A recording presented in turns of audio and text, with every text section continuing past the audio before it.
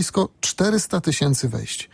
Kilkanaście osób to także bywalcy czata. Są wśród nich m.in. Ziutek i kot Wojciech. W naszym radiu też mamy bocianolobów. Gniazdo w Słowacinku obserwują Magda Grydniewska i Piotr Król. Nawet nie muszę wklepywać, bo my to mamy w historii, w przeglądarce.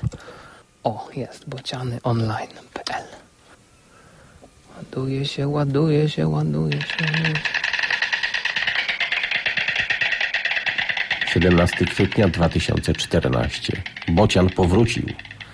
Przyleciał wczoraj rano, przenocował, a dzisiaj od rana zerka w niebo i sygnalizuje, że gniazdo należy do niego.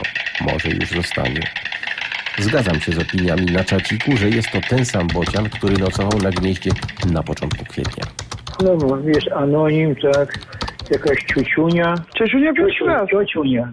Ciociunia chyba pierwszy raz, nie widziałam wcześniej. Ja nie, też nie widziałem tego, Inga, Wojciech, Kotek jest czegoś, a Magda jest u Ulryka, lubi na dzień dobry, mama sobie. Ja pod Płockiem, tak 20 kilometrów za, za Płockiem po Wiśle. Od jak dawna obserwujesz bociany w gniazdach? Trzeci rok.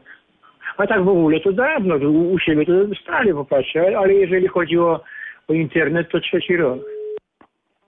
Halo? Dzień dobry. Kot Wojciech.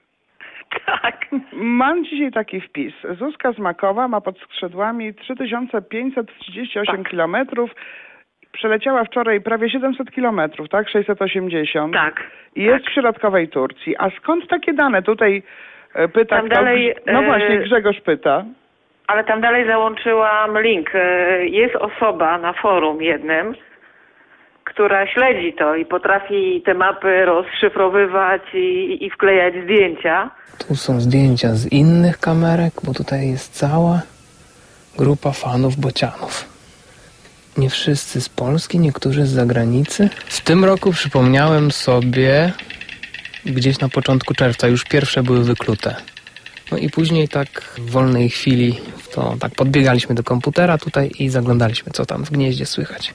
No i najpierw były takie maciubcie, puchate, a później były trochę mniej puchate, a później już miały lotki, a później Został jeden. a później został jeden, bo takie są prawa natury, a później panie z czatu podniosły rwetes, nawet wcześniej. 21 czerwca 2014.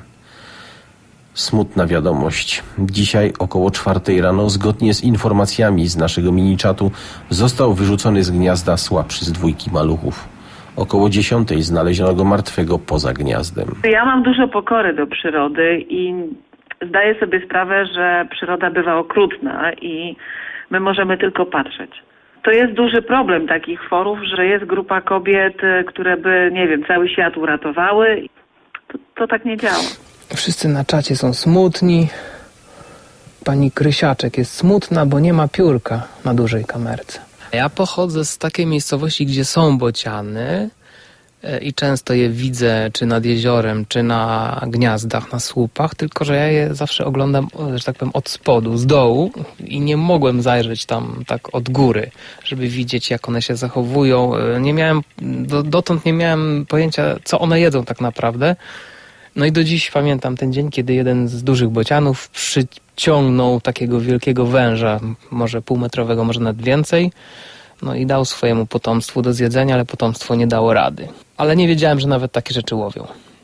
I w sumie myślałem, że one to przynoszą w dziobie, a nie w wolu. A teraz tyle razy widziałem, jak, jak są karmione, że już wiem, jak to się dzieje. Komuś się mówi o tym, że patrzy się 2-3 godziny dziennie na bociany albo wstaje się o 6 rano, żeby zerknąć, to patrzą na mnie jak na idiotkę. Ale spokój.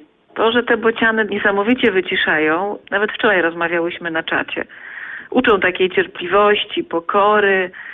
Człowiek przestaje tak czekać na te wszystkie telefony, na jakieś tam zmiany w życiu, w pracy.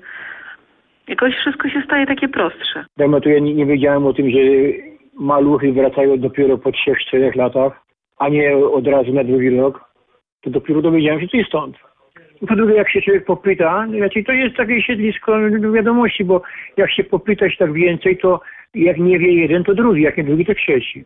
A to jest jednak sporo osób i każdy coś tam wie. nie jest to tylko czat dotyczący tego jednego naszego gniazda, tylko ludzie rozmawiają o bardzo wielu sprawach, o różnych gatunkach ptaków, zwierząt, że to również myślę jest dobre miejsce wymiany informacji na, na różne tematy związane z przyrodą. Gniazdo puste, puściusieńkie. Tylko wiatr kamerką buja. Sylwek obiecuje, że kamerka będzie czynna także w przyszłym roku. W Słowacinku dodajmy gniazdują lotka i piórek.